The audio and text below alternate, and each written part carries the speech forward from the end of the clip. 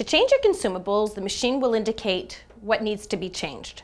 So, you have your four toners. You've got the black, the cyan, the magenta, and the yellow. So to change it, just pull it all the way out. Take the new one out of the box, and you'll see there's an arrow indicating to play, how to place it in the machine, and it just slides right in. Nice and easy. Right under here, you'll see there's a door and there's a little knob here that's in the lock position. You need to move this to the unlock position and then pull the door down. You'll see there's a certain tension. It's okay. You do have to push it down. Right here, right behind this door, you'll find your drums. So to change the drum, simply remove the old drum. The new one you'll see it will be in a um, particular in like a tube. So you have to take the tube out of the box, place the tube to the machine, and just push it right in.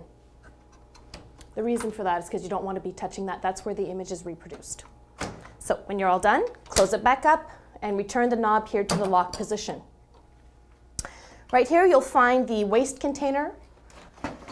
So when this is full, you'll get a message. You'll see in the window here that it's full of toner here. When, when it's time to change it, the new one, just take it out of the box. Again, you've got an arrow, and it slides right into the machine. So your machine may or may not be equipped with a finisher module. This is a professional finisher. So in this finisher, we have the hole punch that we need to empty, we have the regular staples, and we have the booklet staples. So to empty out the waste for the hole punching, this pulls all the way out. Just make sure you empty it. If you pull it out, even if it's only half full, you want to make sure that you empty it because there's a sensor. So when, it's, when you slide it back in, it assumes that it's empty. I'm just going to put it in. And this is your staple cartridge for the regular stapling. So with this, when, when it's empty, this pulls right out. Just take the new, it's just the transparent part that you're going to be changing. Take the new one and slide it in. And then it just goes right into the machine like this.